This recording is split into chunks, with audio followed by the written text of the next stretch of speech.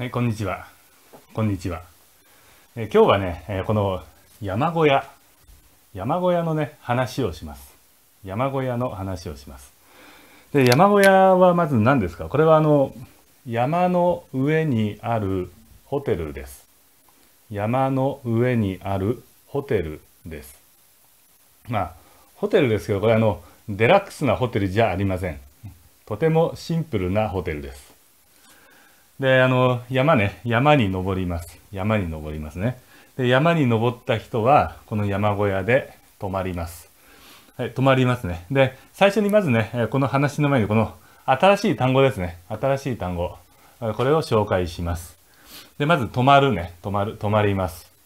で、例えばね、旅行に行った時に、旅行に行った時にホテルに泊まります。泊まります。泊まります。いいですね。はい。で、山に登った人ね。山に登った人はこの山小屋に泊まります。はい。次ね、この標高ね。標高。これはね、海からの高さです。海からの高さで、例えばね、こう、こうやって、ここが海ですね。海。そうすると、ここの、これね、これが標高です。標高。はい、その次ね、空気ですね。空気ね、えー、空気は、えっ、ー、と、空気がね、ここに、ここにあります。私の前に空気あります。後ろにも上にも空気があります。だけど、見えません。空気は見えません。だけど、例えばね、月。月に行きますよね。月。月に行きます。ロケットで、これロケットね。ロケットで月に行きます。月は空気がありません。月は空気がありません。いいですか？はい、空気ね。はい。で、次ね、この気温。気温ですから、この気気はね、空気の気ですね。で、気温は空気の温度。空気の温度ですね。で、温度っていうのは、えっと、これね。例えばね、今ね、プラハ。えー、例えば今ね、ここね、ここの気温は、あの、外の気温はね、今8度ですね。今、外の気温は8度。で、ここはあの、うちの中はもっと暖かいです。うちの中はもっと暖かいですが、外、外の気温は今8度です。8度。はい、そんで気圧ねえ、これね、この空気のプレッシャーです。プレッシャー。気圧は空気のプレッシャーです。はい。ということで、この単語、わかりましたかね？難しいかな空気とか分かったかな？えーと、それでね、この山小屋ですけどね、私はあの昔ね、若い時ね、若い時、あの山小屋で働いていたことがあります。私は若い時、山小屋で働いていたことがあります。でね、この山小屋、日本の山はね、あの、標高がね、高いですね。高いです。で、私が働いていた山小屋、あの、うんとね、3つのね、3つの山小屋で働きましたが、そのうちの1つはね、この標高が2400メーター。ね。で、次はね、えっと、2800メーターのところにありましたね。で、一番高いところ、山小屋ね、3080メーター。この標高ですね。標高3080メーターの、えー、ところの山小屋で働いていました。でね、えっと、これ、標高が高いとね、えー、どうですかね。標高が高いと、この気温ね、気温が低いです。標高が高いと気温が低い。つまり寒いです。とても寒いですね。でね、一般にね、えっと、この標高がね、標高が100メートル上がると、気温は0.6度下がります。いいですか？大体ですけどね。もう標高が100メートル上がると気温は0.6度下がります。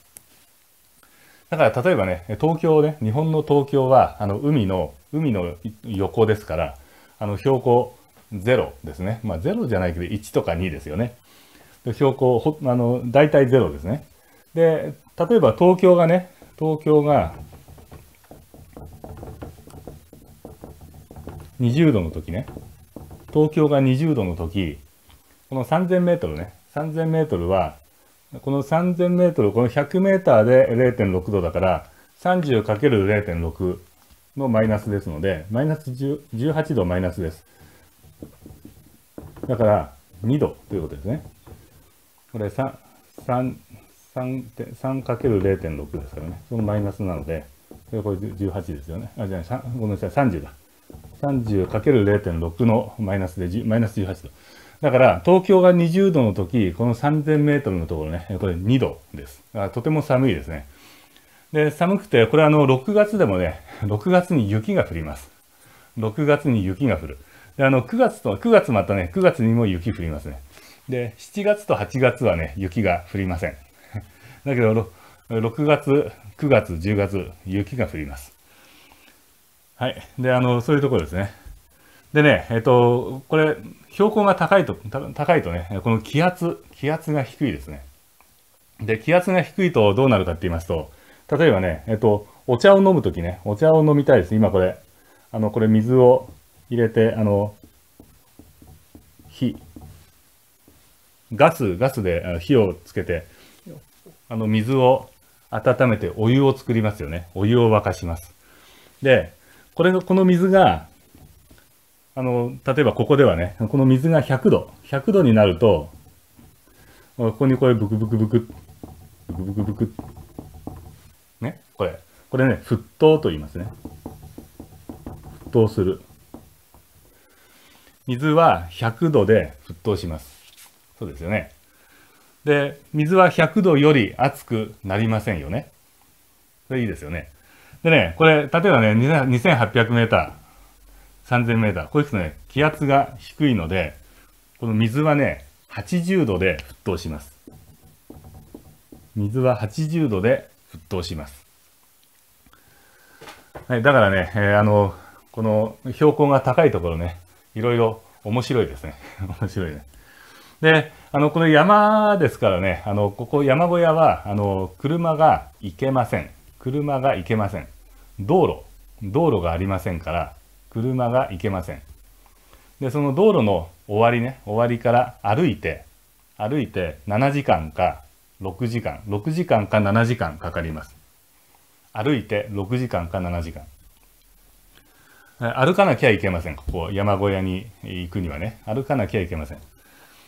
だからね、もちろん、あの、水も電気もガスもありません。ありません。ね、ありませんってあるんですけど、あのこの私たちが使ってるね、このライフラインね。ライフライン。この水、電気、ガス全部、あの、変えますよね。こう、あの、町に住んでいる人は、あの、ライフラインがありますから、水、電気、ガス、これを変えます。変えます。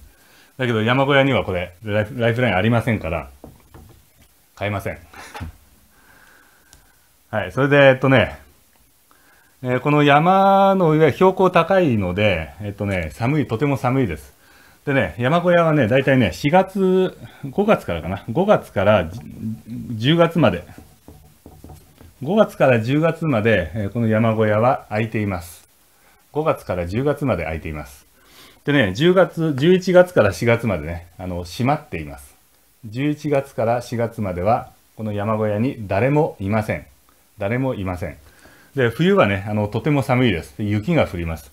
で、あの、寒い、この3000メーターだとね、あの、1年で一番寒い時はね、マイナス40度ぐらい。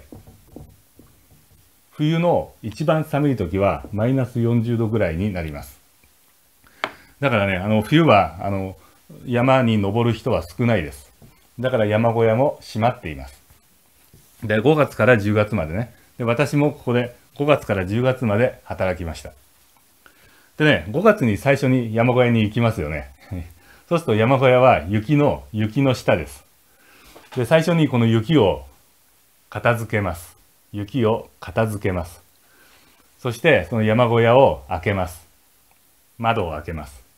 で、山小屋に入ります。はい。で、山小屋に入ります。で、その時ね、最初の仕事、最初に入った時ね、山小屋に5月に、それまで冬、冬誰もいませんでした。で、5月に山小屋に行きました。で、山小屋開けて、最初にする仕事はどんな仕事があると思いますか？これね、質問ですね。今日の質問です。はい、最初にどんなことをすると思いますか？まだね、5月寒いです。雪降ります。で、あの、山小屋も雪の下です。で、雪を掘って、片付けて、山小屋を開けます。で、最初に何をしますか？あの、考えてくださいね。はい、じゃあ今日がね、えー今日のね、質問は、あこの山小屋で最初に5月に行った時ね、えー何をしますかこれが今日の質問です。じゃあね、考えてください。以上です。